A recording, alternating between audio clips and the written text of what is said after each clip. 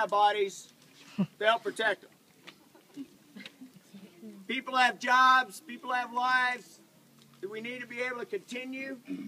In American society, that requires you to have a car. So that's where we're at on that plan.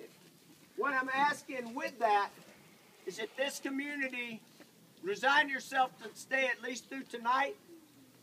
If I get an answer from the state and Raul's able to reinforce that bridge, as soon as they tell me it's passable, we'll come over and start letting people know. We'll try to arrange an orderly, calm, no traffic jam, no heartache, ability for people to drive out.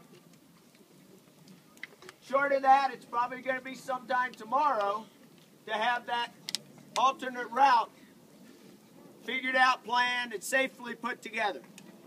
And by safely put together, I'm not talking about laying a bunch of logs and a couple pipes across the river. because if anybody has seen the river, it's still not exactly the animal we know.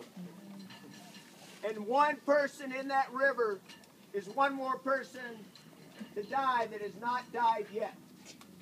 We currently have zero fatalities out of this incident for Lyons.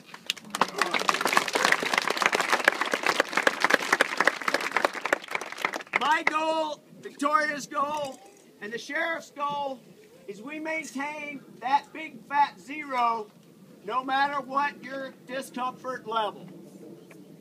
You being uncomfortable and unhappy today is much better than one of you being deceased tomorrow because of it. All I'm asking, all we're asking, is that you reach down inside and find that fortitude. Be patient to know that we are working round the clock with all the resources we can get to get you a safe egress from here. In the interim, we've been sending over regular medical supplies, medical updates, to your local medical support group, which most refugee environments don't have the luxury of. In the event of a major trauma or medical emergency, we will bring a Flight for Life in to take that person out.